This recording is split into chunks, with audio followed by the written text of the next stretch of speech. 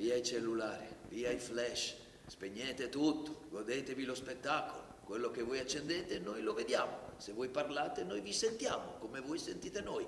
È il teatro, è il luogo dei sogni. Spegnete tutto, godetevi lo spettacolo.